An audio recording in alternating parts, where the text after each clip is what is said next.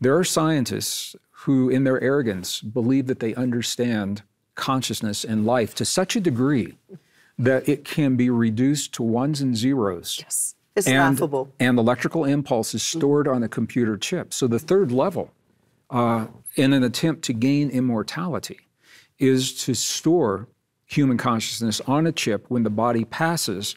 That information then is downloaded either into an artificial body or another physical body.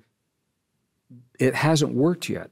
And I think this is the way that science will be led to understand that there's more to us than ones and zeros. We are not simply electrical impulses. That it'll happen through their failures. Just like uh, cloning. You mm-hmm. know, when they started cloning, uh, and they successfully cloned Dolly, the, the famous right. the famous sheep. Well, they definitely cloned her.